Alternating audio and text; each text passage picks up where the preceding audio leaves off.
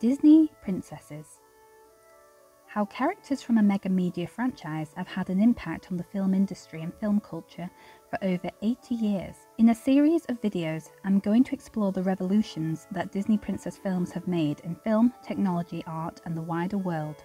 Disney princesses have been around for over 80 years, since the release of Walt Disney's first feature length animated film, Snow White. But the Disney Princess lineup is a relatively new concept, starting out in the 90s with videos, albums, magazines, and became its own franchise in the year 2000, creating one of the most lucrative children's franchises in the world. For a long time, their image of holding up their ideals of beauty, singing, and cute animal sidekicks was their main focus. But there is a lot more to these icons than pretty ball gowns and hairstyles. Each Disney princess has her own story to tell, each one hailing from a film which has left its own mark on film culture and technology and with fans all over the world and of all ages. In this video, we'll be opening with the one who started it all, Snow White. Without the success of Snow White and the Seven Dwarfs, we would not have Disney princesses, indeed, Disney films at all, and the history of animation could have been very different.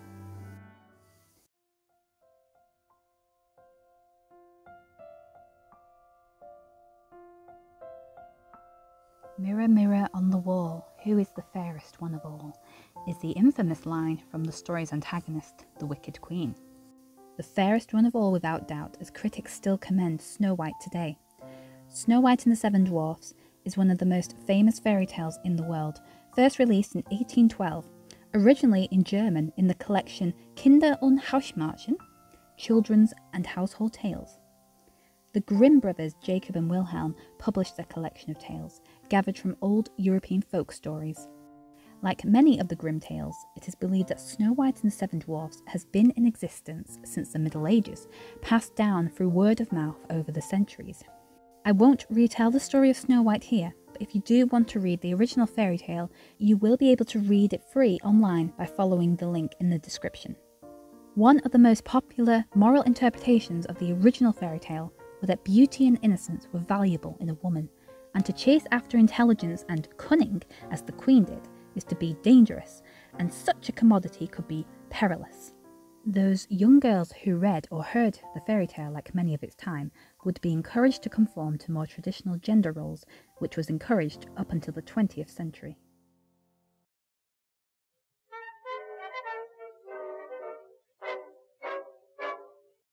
Walt Disney was just 15 years old when he came up with the idea to bring Snow White to the big screen. In early 1917, a silent film version of Snow White starring Marguerite Clark was being shown in his hometown, Kansas, on a large four screen projection. Disney was inspired by the perfect storytelling, and because of this inspiration, he was to make the story the first animated feature film for the studio. It was 1934, in the midst of the Great Depression, and Walt Disney had a problem. The studio's Silly Symphonies were winning all the Academy Awards for short subjects and cartoons, but it was a hand to mouth business with low returns. As today, the big money was in feature films, not animated shorts. Disney would always find a challenge and try to overcome it. He took risks.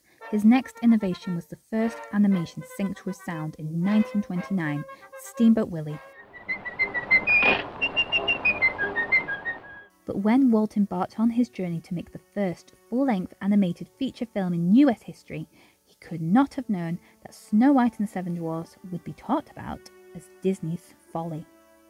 His wife Lillian was one of those who said no one would want to see a full length cartoon that would last at least an hour. Despite the naysayers, Disney went with his gut and brought together his best animators to create the film.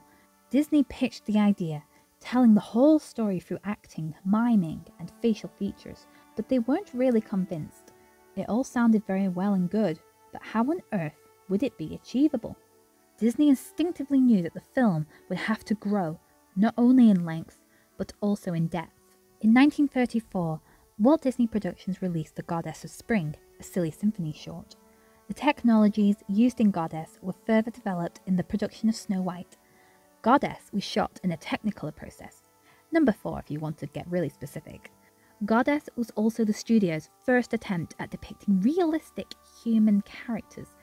Well, I say it was an attempt. Walt employed a staggering 750 artists, most of whom were newspaper cartoonists with no formal artistic training. Together, these artists produced nearly 2 million images, of which, depending on sources, around 10% of the total are seen in the finished film. Snow White was a revolution in filmmaking, the first to use the multiplane camera. In fact, it was invented for this film. The multiplane camera is a device capable of shooting several images at once in order to create more depth and imagination in the artist's drawings.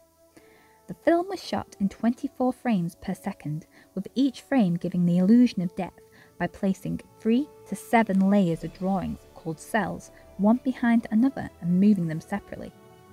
Multiplane cameras continue to be the standard in animation until the very recent use of computers which achieve a similar but more detailed effect. After three quite intensive years, the film was completed in 1937. Initially, the project was budgeted at $250,000, which Disney hoped was low enough for him to make his money back, even if the film was not a hit. However, production costs quickly ballooned to 1.5 million, which in the 1930s was a huge sum of money. Walt was forced to mortgage his home to pay for production. Some critics were convinced the film would fail before its release. But Walt didn't need to fear, for when Snow White was released, audiences were moved to tears. Sergei Eisenstein, the Russian director who invented avant garde cinema, called it the greatest film ever made. It was so much of a success that Walt was able to build the Disney Studios in Burbank from the profits. In 1939, Walt Disney received a Special Academy Award for the film. The award came with seven smaller ones for each of the seven dwarfs. Fifty years later, Snow White and the Seven Dwarfs was the first animated feature to be recognised for being culturally, historically, and aesthetically significant.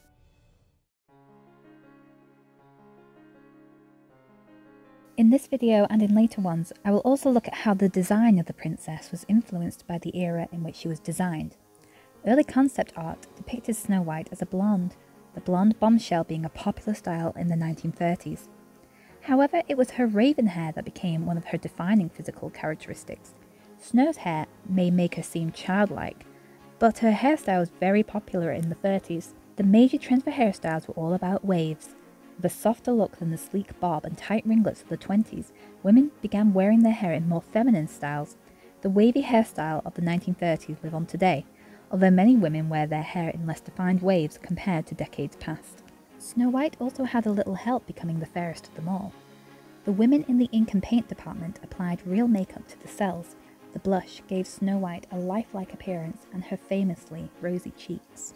Snow White's iconic yellow and blue dress, sometimes adorned with red cape, was partly inspired by fashion of the 30s, with puff sleeves being one of them.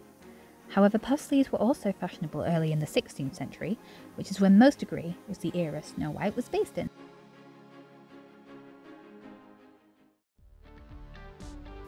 Only a few Disney characters have been honoured on the Hollywood Walk of Fame, Snow White being one of them with a star of her own. She was the third fictional character to receive one in 1987, celebrating the 50th anniversary of the film. Snow White's prince was the first realistic human male that the Disney animators attempted to bring to life.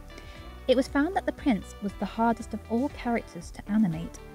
For this reason, his role in the film was minor. But there are sketches and storyboards surviving of scenes where the prince was trapped by the queen and trying to escape. Have you ever wondered if you had heard Snow White's iconic voice anywhere else? Chances are slim that you haven't. Snow White was voiced by Adriana Caselotti, who is said to have signed into a strict contract with Disney never to use her unique voice in any future film. The character Snow White is a popular meet and greet character in the parks. She can be found in Epcot, in the Germany Pavilion of the World Showcase, Disneyland Paris, and the cruise ships, just to name a few. In conclusion, Snow White is a timeless classic princess, though who may not hold up to modern feminist standards today, still holds her own by showing us her true qualities. She is shown to be patient and hard-working, even in times of uncertainty. She does not fight her stepmother for her rights as a princess, but she does show kindness is a true superpower as she looks after others, keeps a positive mindset, and hopes for the future. even if all she does is sit and wait for her prince to come and rescue her. She rocks those baking skills, is kind to nature, and is shown to be a wonderful friend, which is nothing to be ashamed of. Next time, I'll be delving into Disney's next princess film, Cinderella. Is Snow White your favourite Disney princess? Was there anything new that you learned about her film? If you enjoyed this video, please like, subscribe, comment your thoughts, and check out what other Disney projects I have on my channel. Thank you for watching.